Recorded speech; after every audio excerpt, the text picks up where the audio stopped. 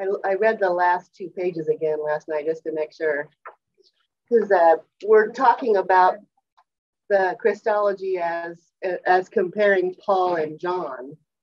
And what our author Goulder is talking about, I'll just read some of this stuff and then we can kind of go from there. The, vision, the visiting preachers are leading you astray from your sincere and pure devotion, just like Eve was deceived by the serpent's cunning preaching a Jesus other than the Jesus we preach. And I put in parentheses, Jesus was human. That's the big distinction between the Petrines and the Paulines. This is Paul saying to his people in Corinthians, um, don't listen to those visiting preachers who are saying to you that Jesus was human. And you know, remember, possessionist is human until he was until the dove landed on him and he was baptized by the Spirit. So that was the big distinction in there. And then also, what he preached in Corinthians was receiving a different spirit from the spirit you received. And if you remember way back in the first couple of chapters, we talked about how the Petrines um, had these these visions and tongues, and people would just kind of do crazy stuff and not necessarily have any particular reason for it. And what the Paulines were saying was there has to be something from the Spirit of Christ for those tongues and visions to have any purpose, not just anything goes like the Petrines were doing. And then finally, um, that he was talking about a different gospel from the one that you accepted. And so we're talking to the Jerusalem Jews. And, and, and remember, the Petrines are keeping the law, and that's keeping the Jewish laws. And Paul is saying that the Jesus laws go beyond that. You don't have to just go, you know, follow everything that the old Jewish laws were saying. So it's kind of a, it's kind of him uh, saying to these people that he's talking to, don't listen to the Jerusalem Jews, basically. So, all right.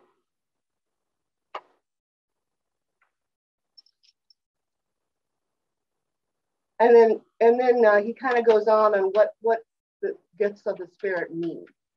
And um, if you look down like in the last sentence it, it's interesting that in first corinthians he talks about them.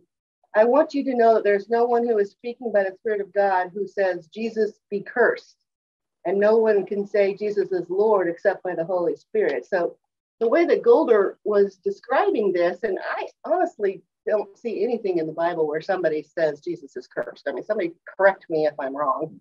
But Paul is saying to his people, if they say Jesus is cursed, then it's not from Jesus be cursed. Yeah, true. Jesus be cursed.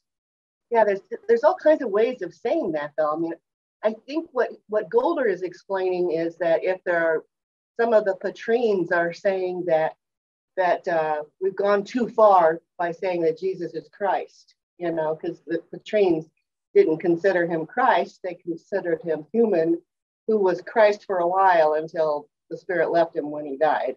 And so, at least according to Goulder, that's the distinction that he's talking about. Does everybody agree with my interpretation of what Goulder is saying here? Because I don't think there's anything in the Bible that says Jesus be cursed. Well, I think it's more from that second sentence.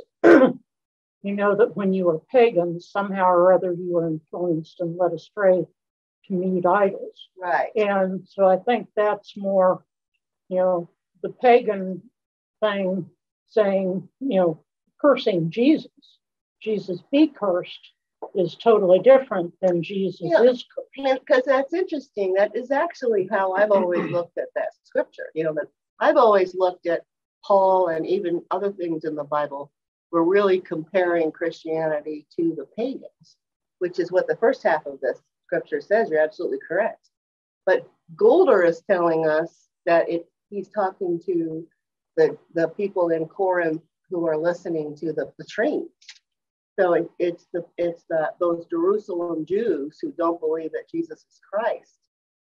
I, I don't know if Goulder is correct or not, to be honest with you. I mean, I'm, I'm guessing that this Jesus because part has something to do with Jewish tradition about uncleanliness. so if the belief was that uh, Jesus died in a state of crucifixion, and the, the spirit, the Christ, had left him. If that's what the Petrines believed, then that leaves Jesus dying in a state of sin or uncleanness. Oh. And so oh. this cursing is probably not. I'm just again, I'm just making this up as I go along here. This cursing is probably not like we would say to somebody, "No, the heck with you" or whatever. Oh. It's more Jesus is cursed because he accepted the sins on himself, and then the Christ left, and here's here's the empty shell with all the sin. Kind of ah. kind of the scapegoat thing. That okay. Was, you know, that's where scapegoating came from was, was mm. Judaism. So that would that would make sense then, if Paul if if Goulder at least is saying that. So, so in, in, in Jewish law, there are so many things that make one unclean, and if you're unclean, you're kind of in a cursed state. And the Petrines believed that at the moment of death or just prior to his death, the, the Christ left Jesus' body, left his human body behind. And, and Jesus died on the cross, but not the Christ. And so if Jesus died, that kind of a punishment, that would be considered an unclean event in Judaism. These were Jewish Christians. So they would have said Jesus was cursed in, in the flesh. Okay, Jesus, the man, was cursed. And, and I, again, I think we're, maybe we're interpreting it from our viewpoint that we're saying, you know, damn, damn you, Jesus, or whatever. And that's not yeah. probably what they were saying. That's what they're saying. Okay. This is that makes more sense Jesus, to me. This is how Jesus ended up. Yeah, I was taking it literally, and yeah. it's like didn't make any yeah, sense. Yeah, well, yeah, that's why I think it's maybe important okay. to look at. Yeah, that bit. makes yeah. that makes more sense with what the, you know the previous slide said too. It's like that makes more sense in terms of the human laws, you know, the, the Jewish laws versus God's law. So. Well, there's another angle to it too. Remember that in Corinth and other locations, there were um, missionaries coming in from Jerusalem, uh, often speaking under the Spirit, and they may very well have been saying such things as, "You are required to get circumcised. You are required to honor the Sabbath. Jesus be damned," you know, and uh, so I think uh, Goulder refers to that earlier. So I think he may actually be referring to some of those visiting yeah. missionaries who were more. So maybe they were saying the heck with Jesus. Yeah, yeah. I, I, think okay, so. I think they may be. Yeah. Yeah. That's when I'm not sure what Goulder's talking yeah. about. well, and, and to be honest, we're not sure what the Bible, the right. New Testament, yeah, well, I mean, because true. he's yeah, we're looking all, at the scripture now thinking, huh, I don't yeah, know what they meant. Yeah. Well, and, and Goulder makes the point that often uh, in the, the New Testament writers are reacting to something that we don't know has happened. And so we're getting one half of the conversation, and we don't know what the other half is. Right. Right. Well, then sometimes Goulder thinks we know what he's talking about. We don't always. Yes, that's, true. that's right. He is, he is quite a few leagues ahead of us there. So, yeah. okay. Let's move on. I think there's one, maybe two. So this is basically the same thing. This is in John. Do not believe every spirit, but test the spirits. This is how you rec- recognize the spirit. Every spirit that acknowledges that Jesus Christ has come in the flesh is from God. But if you don't, it does not acknowledge Jesus is not from God. This is the spirit of the Antichrist. So we go into the, you know, the opposing viewpoint thing. Once again, t- he's talking about the Petrine saying that Jesus was not God until he was not the Christ until the Christ landed on him from the dove. That's kind of a crude way to say it, but that's that's what I keep getting from all of this.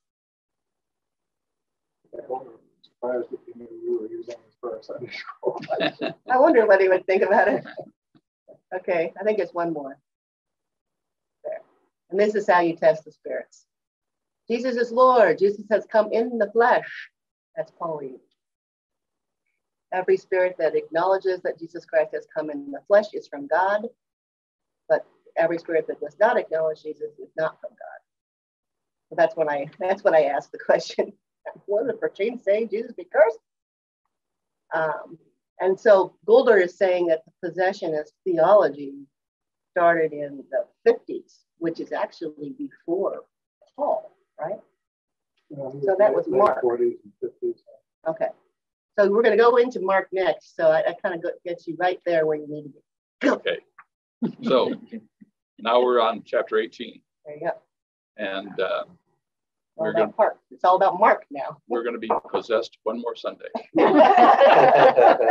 Uh, he's talking about before Mark, and the premise is that Mark again is responding to a situation that existed before he wrote the book of Mark, which would put us back in the 50s and 60s that era. So, so I hope this makes sense as we go through. Um, first of all, he starts out talking about, you know, who, who was Jesus? And in Mark, it says, Jesus and his disciples went on the, onto the villages around Caesarea Philippi.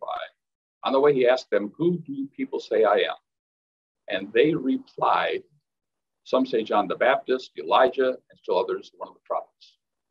So um, Goulder is saying that Mark is responding to a common premise uh, or um, the gossip about Jesus in this time period and saying uh, through the disciples, they say you're John the Baptist, they're saying you're Elijah.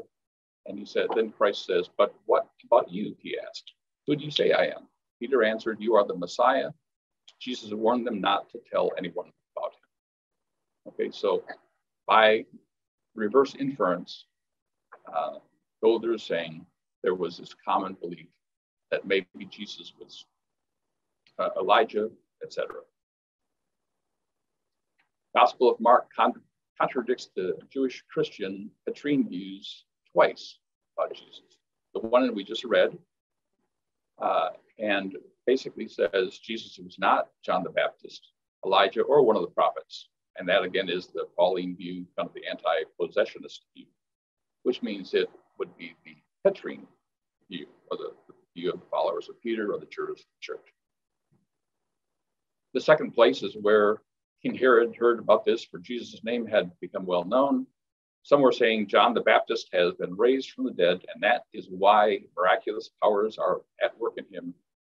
Others said he is Elijah, and still others claimed he is a prophet, like one of the prophets of long ago. So again, twice Mark is referring to this common belief.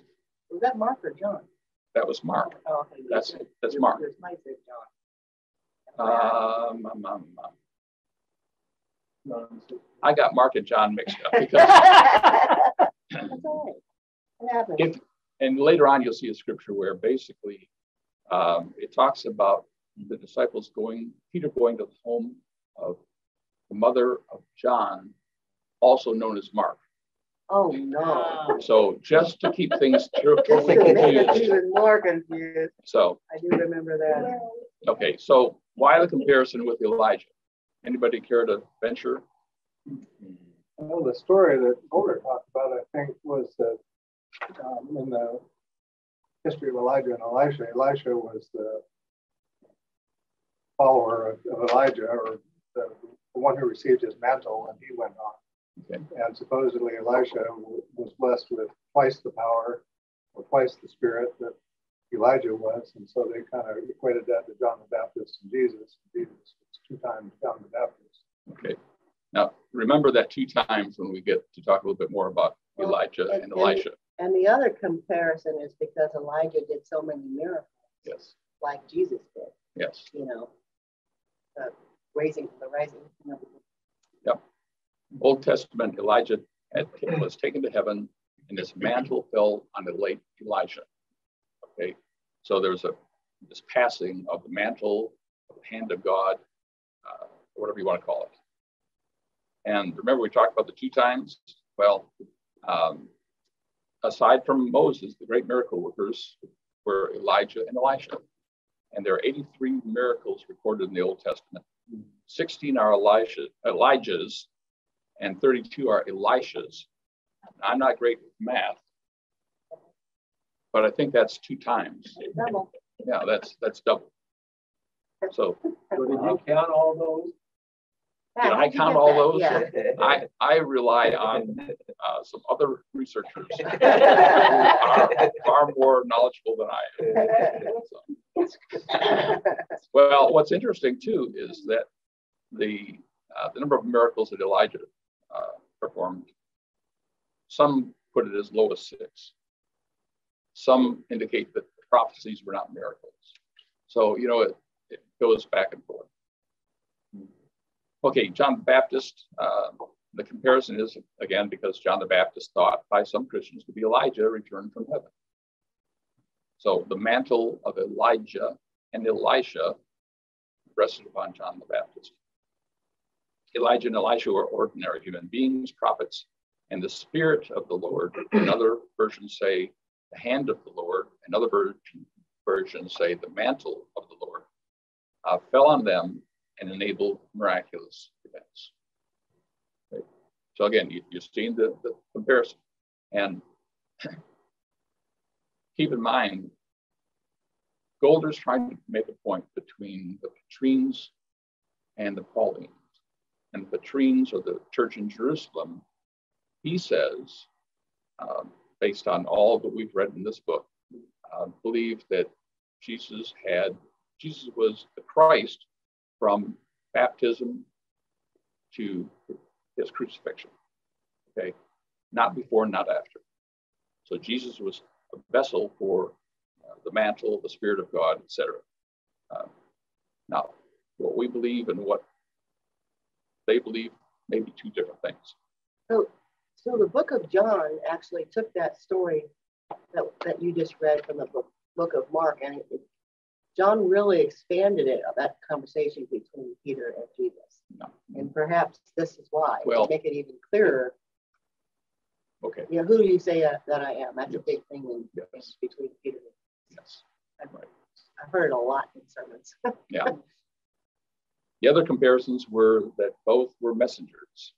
Um, Elijah in Second Kings uh, 2, 2 and 2, 4 and 2, 6 basically says to Elisha, stay here. The Lord has sent me to Bethel. And then later he says, sent me to Jericho. And later said, sent me to Jordan. And of course, each time Elisha says basically, like Ruth, where you go, I will go. Uh, so he, he doesn't obey Elijah. Um, also, Malachi says, I will send my messenger ahead of you who will prepare your way. And of course, that reference is also made of John the Baptist in Mark uh, 1 2. So, continu- continuing the comparison, both uh, Elijah and uh, John the Baptist faced weak kings, Ahab and Herod, and strong kings or queens, uh, Jezebel and uh, Herodias. Um, so again, he's making this comparison that there's a reason why they believe that the mantle fell on John the Baptist and later was passed on to Jesus. Both had a garment of hair and had a leather belt around his waist. Well, that was Elijah. And John was clothed in camel hair. Now, depending on the version of the Bible you look at, he wasn't clothed in camel hair, he was hairy. So, so take take your pick, but Goulder's using the interpretation that he was clothed in, in camel hair. Uh, and again, we're talking about John the Baptist versus Elijah.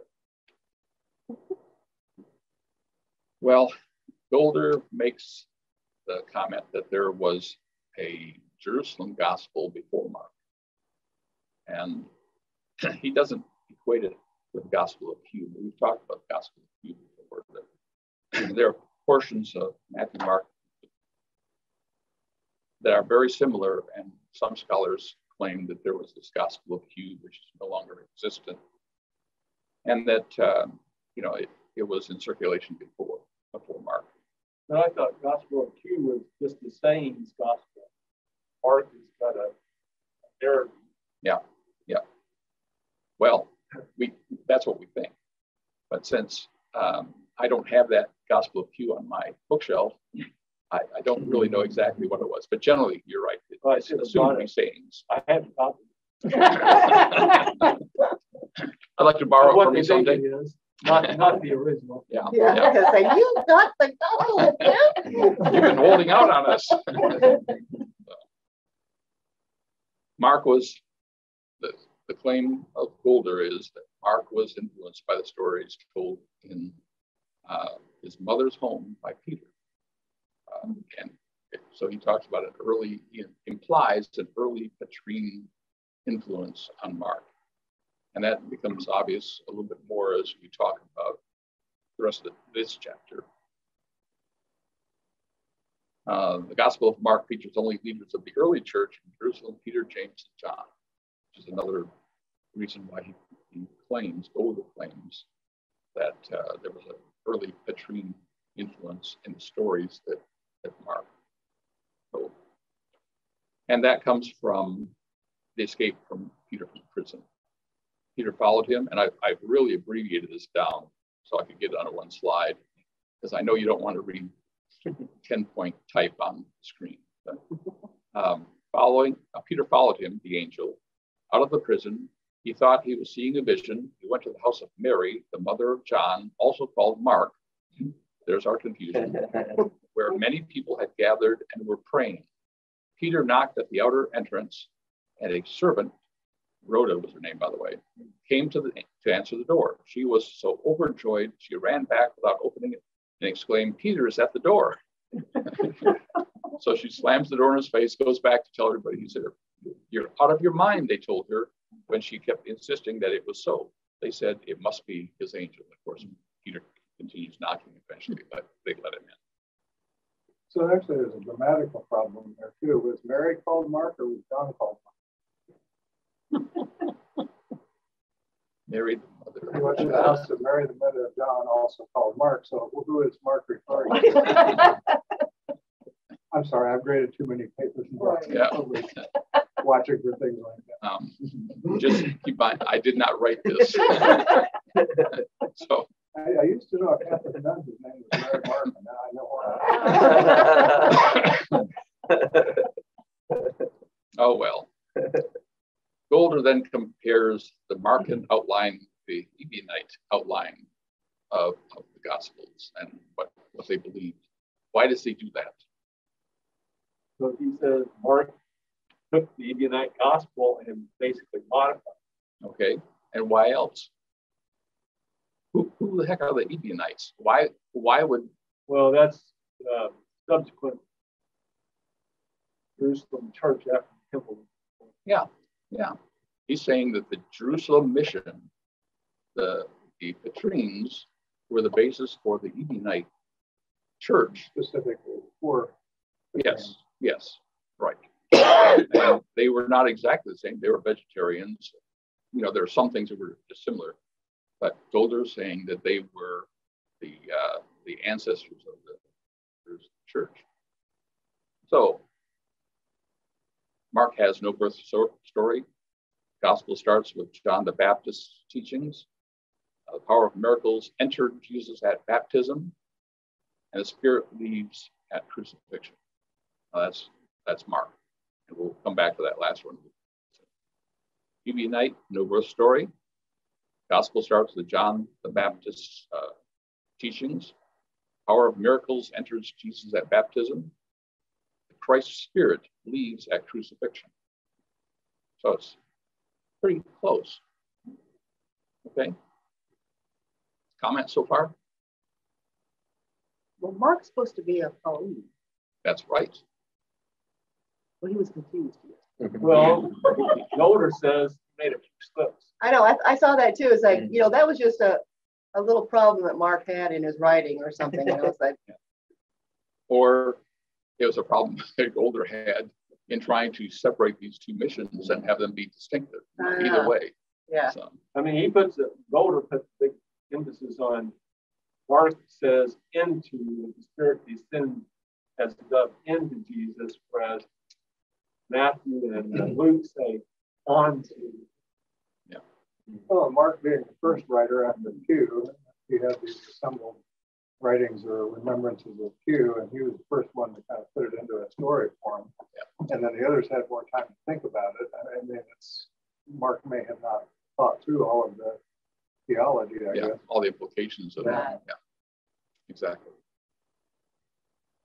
So then Goulder compares John the Baptist to Elijah, Elisha. John the Baptist, uh, John baptized at uh, the Jordan, Spirit descends on Jesus. Christ goes into the desert for 40 days. Jesus returns and summons disciples and tells one of the disciples, There's no time to bury her, you're dead. You must follow me now. Elijah or Elisha asked Elijah for the gift of his spirit at the Jordan. Elijah flees into the desert and fed by an angel for 40 days. Now keep in mind that's the second time he flees, flees into the desert, though, but this particular one coincides uh, with Goulder, at least, with the 40 days that Christ spent. Elijah returns and calls Elisha his disciple. No time to kiss his father goodbye. Okay. Um, so you can accept those parallels or not. I mean, they're, you know. I found it fascinating that these, there were some of these fairly subtle, like um, that last one talking about no time. And Jesus says, no one, as it said, looking back, you know, has his hand on the plow. And more or less, that's what yeah. Elijah and Elisha take yeah. place. You come now. Uh, disciples are to follow now. Don't, don't put your business right. in order. Don't say goodbye to your family. Come now. Now we warn people not to do that. It might be a scam. right, right. That's right. This class is great for one-liners. okay, Goulder then compares Jesus the Christ and Elijah. Um, Jesus cleanses the leper, that's in Mark. Jesus raises a 12 year old daughter of uh, Jairus. Jesus feeds 5,000 in Mark 6. Elisha cleanses a leper in uh, the Second Kings, fifth chapter. Elisha raises the dead son of uh, Shunem uh, in Second Kings. Elisha tells his servant to feed a crowd of 500 with uh, 100 with uh, 20 loaves. Uh, both seem fairly miraculous as far as feeding the crowds. So. Comments? The parallels are like yeah, there are, and the one comment I would make is keep in mind that the New Testament writers are are especially trying, many of them, Matthew being one, Luke being another, uh, are especially trying to draw parallels between the Old Testament, what was prophesied, what occurred, and Jesus and his life, and what was prophesied about him. So it may or may not be unusual that there are parallel events here. Uh, or it, it could be, I mean, Paul Bennett drove down 435 I drove down 435. I'm not sure there's any spiritual significance to that. So some of these may simply be Goulder grabbing at straws, you know. There is spiritual significance because you both came to Sunday school. Uh, but I didn't take 435 to Sunday school. yeah, but what if you both drove down 435 backwards with your eyes blinded and you both got here safely? Now that would be a miracle. okay. Is John the Baptist Elijah? Elijah, Elijah, Elisha's stories had influence on the traditions of Jesus. That's what Goulder is saying. There was an influence there. Mark says Elijah has come in John the Baptist, uh, and that's in Mark 9th chapter. And that, that would tend to put him in the Petrine view. And here's the, the thing Jesus replied, To be sure, Elijah does come first and restores all things. Why then is it written that the Son of Man must suffer much and be rejected? But I tell you, Elijah has come, and they have done to him everything they wished, just as it was written about him. Now, what's the thing that they had done to him?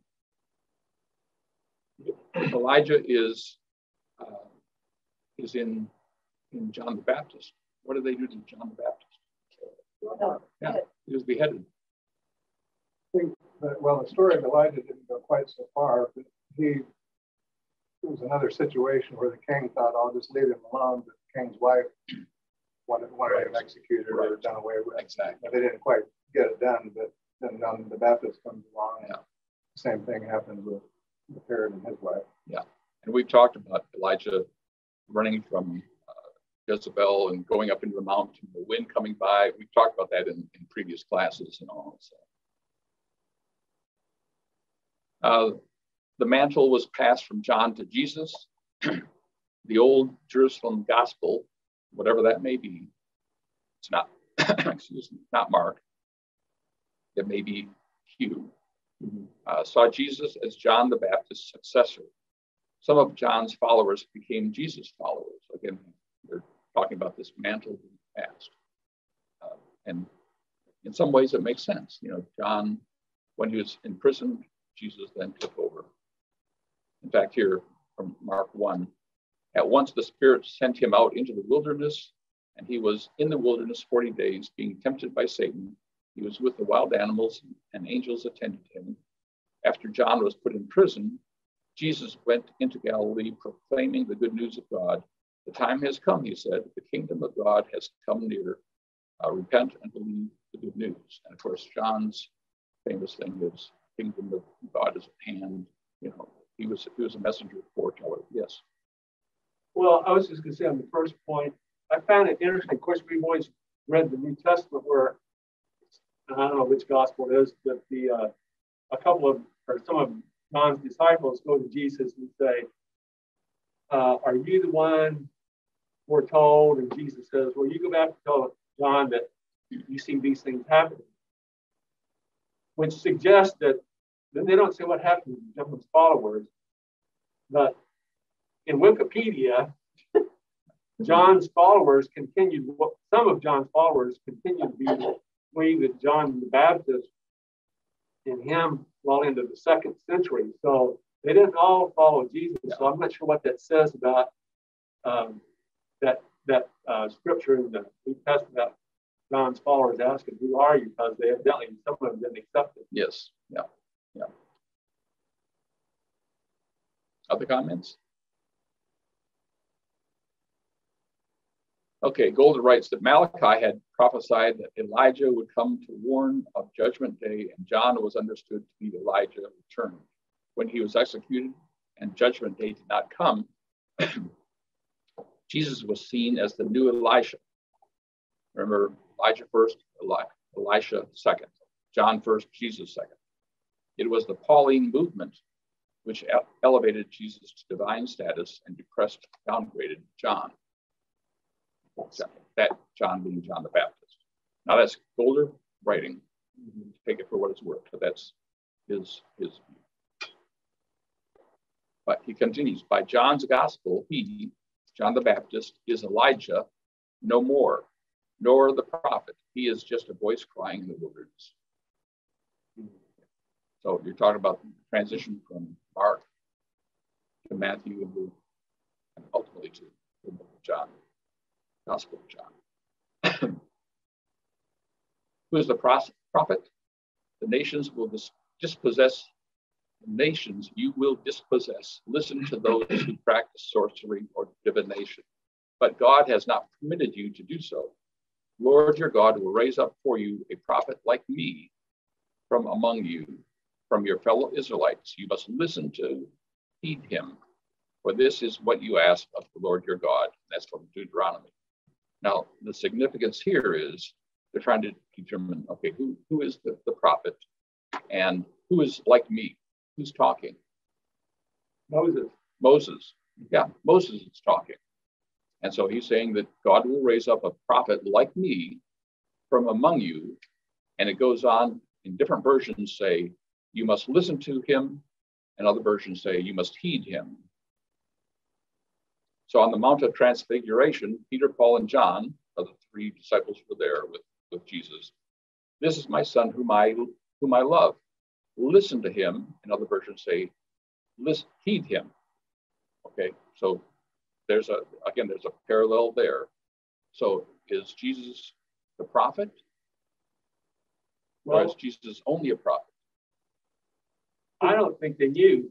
They weren't sure if you read Acts, um, Know, about the second chapter, Peter's when he's speaking at Pentecost to the crowd, he says, Well, this man, he killed this man, he was the author of life, he was Messiah, he was the prophet foretold by Moses. Several titles. I don't think they, at that point, had it settled. It was left open a lot of possibilities. Yeah. Who did, who did the Old Testament rabbis say Moses talking about? Because they would not have said he was talking about it. Um, I, I, my guess is it, it, might, it could be, it could be Isaiah. I, I'm not sure, to be honest. I'm not sure who. I don't know. I, I thought maybe Goulder said I missed it. No, I'm, I don't think he, he says, and I didn't research that one further. It's just, you know, typically there's some, there's some other interpretation. Right. And then there's the New Testament interpretation, which takes it a step further. Right. So here's where the transition seems to take place. Before and after Mark 9, uh, before Jesus is like Elijah and Elisha, they performed many miracles. And he did too, obviously. After, more like a prophet, like Moses. uh, and in that sense, Goulder says these are the these are the points you tick off that uh, make Jesus a prophet to be considered a prophet at that point. And he again is saying this is the view of the Jerusalem church. It may not be our view now, but it was the view of the, of the Jerusalem church or Jerusalem mission. Uh, he scolds the faithless generation that will not believe him, and the word in the, the Bible is upbraideth, you know, and which means scold. Uh, he overrides Moses' ruling on divorce. He adds to the Ten Commandments and he adds, give all that you have to the poor. That comes from Mark. And um, he proclaims the love commandment, which is really from Leviticus originally, which says, Do not seek revenge or bear a grudge against anyone among your people, but love your neighbor as yourself. I am the Lord. Now, that's Leviticus. Jesus seems to expand that even more in the sense that he said, he asked the question, he answers the question, who's your neighbor? And the, the neighbor seems to be not just uh, among your people, it seems to be all people. Yeah, being called those the extensions. Yeah. yeah. Where Jesus has extending the commandment. Right. Right. Okay, for the Jerusalem mission, um, basically, Jesus was honored as a prophet promised in Deuteronomy 18:15. Now, again, remember we're looking at the Jerusalem mission versus the uh, Paul and his the, the Pauline mission. A new Elisha following the return of Elijah, John of Malachi. So um, the new Elisha is Jesus divine spirit emerged, and entered him at baptism, transferred from John. We've talked about that you know, mm-hmm. several times, except we haven't talked about that as being transferred from John. Produced marvelous works and teachings. Why was the cross an embarrassment to the Jerusalem church or Jerusalem mission? It was usually used for criminals. Okay, used for criminals. But there was also this concept that the spirit cannot die. So if, if Christ dies on the cross, how can he, how can that happen? Because the spirit cannot die.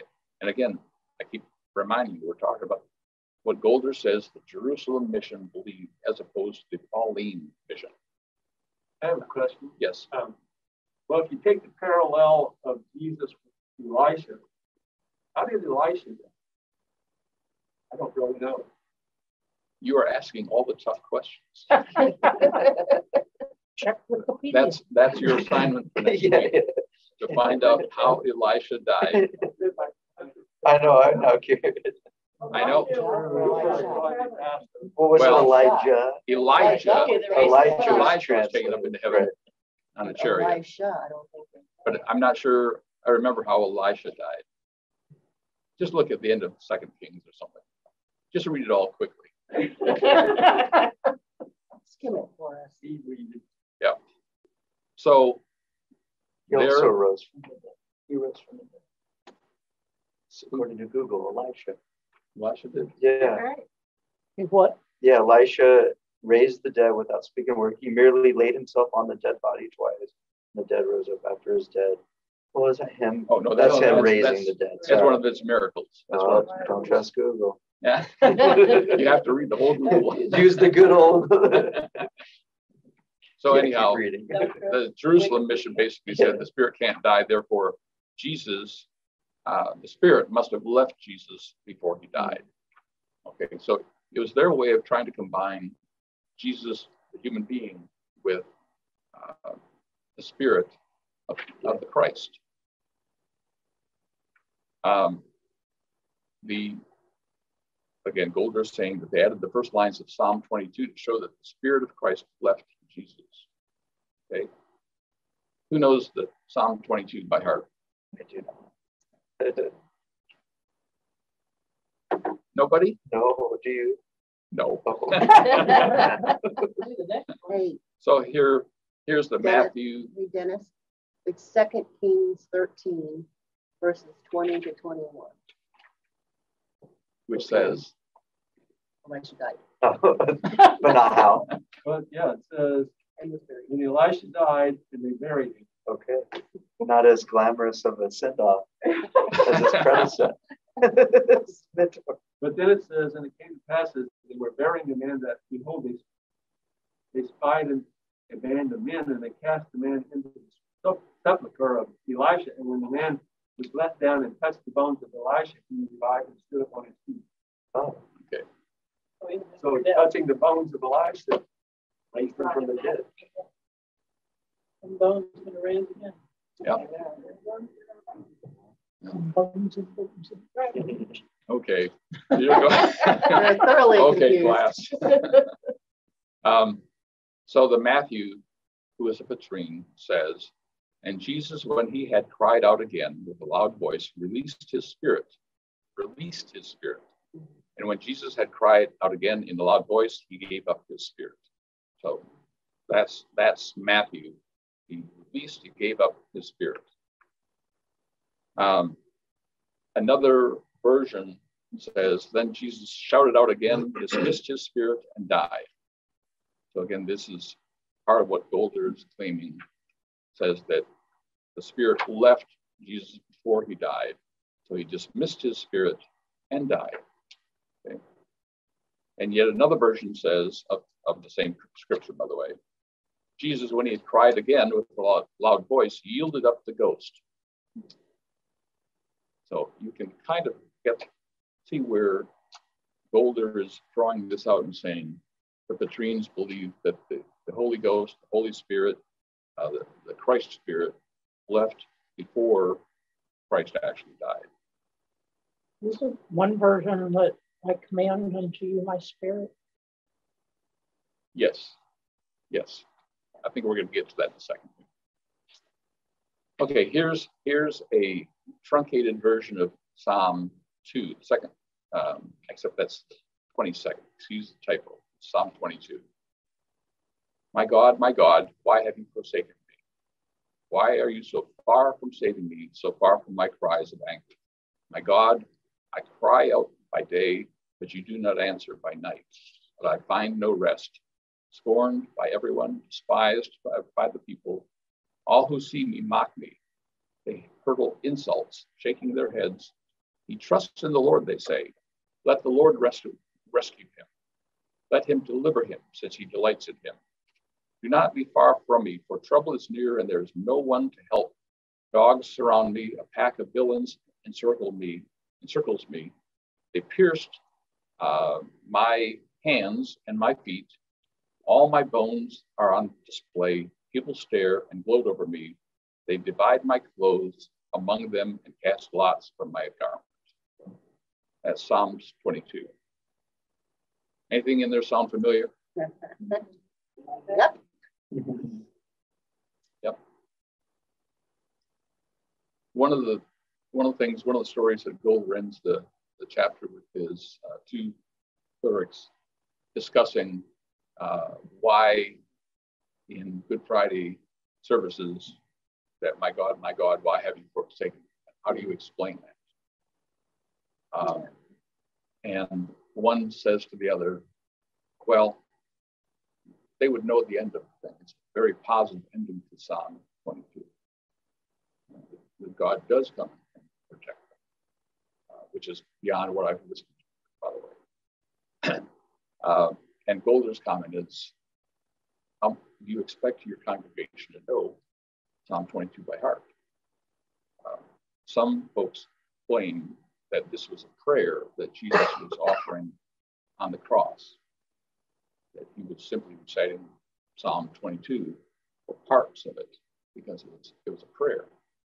So uh, take your pick. It's, it's hard to know. But keep in mind that, my God, my God, why have you forsaken me? And let's look at, um, I got to admit somebody. Um, okay, Jesus' last words. Um, in Luke, who, who, was Luke? Was he Pauline or Petrine? He tried to be all Okay, he was a great compromiser. Okay. So he says, when Jesus had cried with a loud voice, he said, Father, into thy hands I commend my spirit. And having said thus, he gave up the ghost. Luke doesn't say, My God, my God, why have, have you forsaken me? Okay. Here's John. Now there was a vessel full of vinegar, and they filled the sponge with vinegar and put it to his lip, to his mouth. When Jesus had received the vinegar, he said, It is finished. And he bowed his head and gave up the ghost. Where's my God, my God? Where it's not in there either. And John, again, is, is not a Petrine, definitely a Pauline. And then finally, we have Mark. Darkness came over the whole land until three in the afternoon, and Jesus cried out in a loud voice, Eli, Eli, lama sabachthani. That's how they taught us to say when we were singing. I'm not sure that's pronunciation correct, which means, My God, my God, why have you forsaken me? With a loud cry, Jesus breathed his last. So you see different interpretations of last words of Jesus. And what's interesting is we throw them all together. When we have a service and we talk about the last words of Jesus, we throw all those together. And they are not duplicated from one gospel to the next, which may or may not be significant. You know, if all of us went and saw a car crash, we would probably describe something differently. Right, just like the Christmas story, you know, I mean, yeah. you have to you have to really dig deep to find out that that those words weren't said in every version. Yeah. And exactly. then maybe there was a reason why they weren't said in every version. Yeah. That's the part that nobody teaches you as a young Christian. Well, I think because everybody's confused, because they're they're different, so they blend them all together. Yes. Yeah, it's the greatest hit. It's a better yeah. story. It's a better story for yeah. sure. It's seven, a fuller story. The seven final words, you know. I mean, that's. It's much more dramatic, Jane. You're right. I'm with you. Yeah. Think about the Christmas story. Yeah. You need the king. Yeah, it's not as dramatic as it. Yeah. Like. well, um, and you wonder also, excuse me, uh, you wonder also how much of it is like the game of gossip. And, yeah. you know, I've told you this and you change it a tiny bit to tell the next person. And so by the time it gets written down, it's it's not saying the exact same thing. You preside over one service and have this in, and next year somebody says, I want to add my part in, and yeah. you know, this goes on and on. How many centuries have we been dealing with it? Well, and I, I suspect that the people who assembled the Gospels were thinking in their brain in the in the mouths of two or three witnesses. And again, you get witnesses to any event and you'll get different points of view. So the contradictions don't necessarily mean something subversive going on. It can very well mean people have different views of, of events that took place. And what was important for the authors yes. and the witnesses. Right. Exactly. Exactly and who went ahead and wrote the, the you know, hand version out You yes. know, could have changed a word here and there. Yes, translation. You don't want to have to rewrite the whole thing. yeah, I like that. It's sound. Yeah. Okay, so what's the message of this chapter? Well, the message is told that Christians tend to think Jesus settled. But it wasn't. There was this exploration still taking place. What how did that change? This church part of Jesus. So it took a while to sort through that, like several centuries. yeah, right. exactly. Exactly. Anyone else? I um I really um it the way you presented it for me, something that I didn't really take away as much in the book as in class was the authority of the mantle.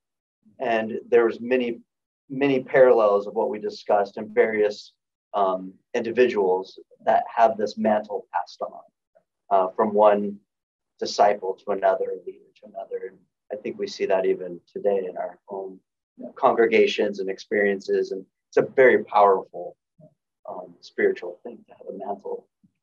Well, and we, I mean, we even talk about the prophetic mantle. We talk about it as applied to from Joseph Smith all the way down to Steve Veazey. I mean, it, there is there is a pattern that we still believe and follow there. So um, I'm going to just throw up some questions and let you uh, address any of them that you want in the two minutes we have. Um, are the parallels between Elijah, John the Baptist, and Elisha Jesus important to you? Why does Goulder dwell on possessionist Christology? like does he? That, that's the three or question. four chapters of yes, it, right. Mr. Goulder. What did you get out of this chapter? And are you a possessionist or a Messiah Christologist?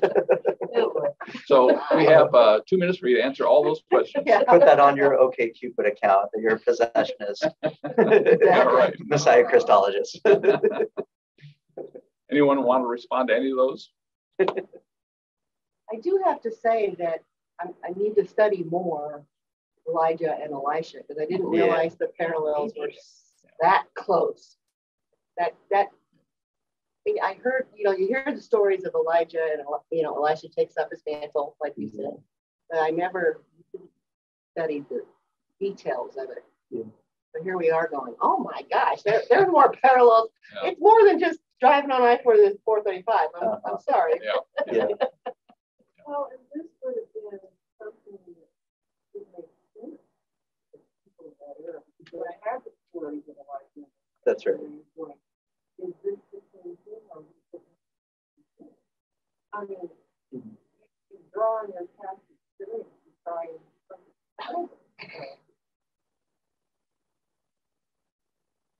Other comments or answers to any of these questions? Well, I think the reason voters spend so much time on it is we need to understand that there was this debate. And I don't think I've really studied that aspect, the differences in the gospel. Mm-hmm. And so it makes me concerned me and that there was a debate. Right. Yeah. yeah. yeah. We, we, for so long, Christians have blended all these stories yes. that it never has occurred to us yeah. that we need to separate them out a little bit. Yeah. Or I've taken the debate that they had thousands of millennia a year ago uh, for granted, right? Yeah. They were going through like the spirit. That was such an important thing of how the spirit departed. And here we are just like, we're good. It's not an issue for us. right. We know how you know, we know how it ended up. yeah, like, ended up. it's incredible. I mean, it's yeah. a wonderful point. It's a lot yeah. of gratitude to the early Christians. Yeah. yeah. I mean, on many ways. They they dealt with a lot of different controversies. Yes. And, uh, well, I would say I I had always just read it with the like that, you know, that you know what's coming, and didn't even notice the parts that you know, were possessionist or, you know. Mm-hmm. Of course, he was born of, of Mary and he was, you know. yeah. Well, I, and I'm, I'm always amazed that um, for me, it answers some questions about the contradictions with the scriptures. Yeah. Uh, the historical, when you study the historical background and, and the commentaries and all, it, it makes a lot more sense why it's not, you know, A, B, C, D, E, you know, and straightforward on all the gospels. So it's and, and why the book of John doesn't have the birth. That was kind of weird Yeah. to me. Yeah. Mhm. It's completely skipped the story. Yeah. Yeah. Yeah. Yeah. exactly. Well, we, we would, we would jump over them and just kind of go, yeah, that's weird, that's hinky, let's move on, you know, Exactly. and, and now we actually have, you know, more of a reason Yeah. of, Mhm. of why it was. And, and it's, I think for educated minds, we wanted, you know, we need that. We need that. Yeah. to. I like, yeah, I like having an answer. Yeah, me too. Well, we are we are out of time. I time. see the bench you have. Sure. Yeah, I'm, I'm looking at, That's a Yeah. supplemental. at Sharon up there. Now, next week, That's we go on to chapter 19, I believe it is, and we talk about the incarnation. Uh, and my sincere apologies, but you have to deal with me again. I'm teaching next Sunday, so. Oh, Yay. Apology accepted. I was thinking, oh, for you. Yeah, sad for you, not for us. Two Thank you weeks in a for all row. hard work. Sure. Thank you. Good Wonderful. job, lesson. Yeah. Yeah.